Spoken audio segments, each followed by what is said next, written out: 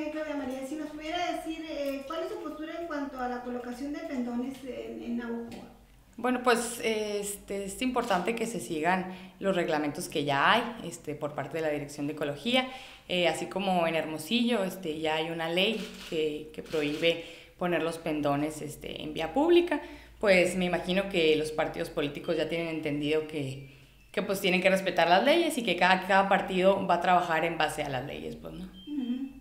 Ya existe aquí, ya se dio, hay un antecedente aquí en Navajo. Así es, tuvimos una reunión de Cabildo y, este, estuvimos viendo el punto en donde eh, se le anexaba ahí a, a, a, un artículo este, que no se podían poner pendones en vía pública. Antes se podía poner en, hasta en camellones, ahora ya no se puede poner ni en camellones, ni en esquinas que puedan tapar la visibilidad a los, a los este, automovilistas.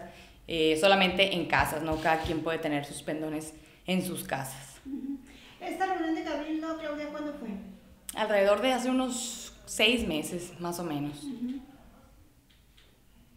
Y ahí el acuerdo fue precisamente eso. De, de... Así es, hacer una adición a, este, al artículo en donde se ponía eso, que, que, ya no se podía utilizar los pendones en vía pública, pues, ¿no? Ni en, ni en postes de luz, ni en postes de, de, este, de teléfonos y que la gente que, tú, que quisiera tener pendones podía hacer pues en su casa, ¿no? En lugares privados. Ajá, domicilios, domicilios particulares.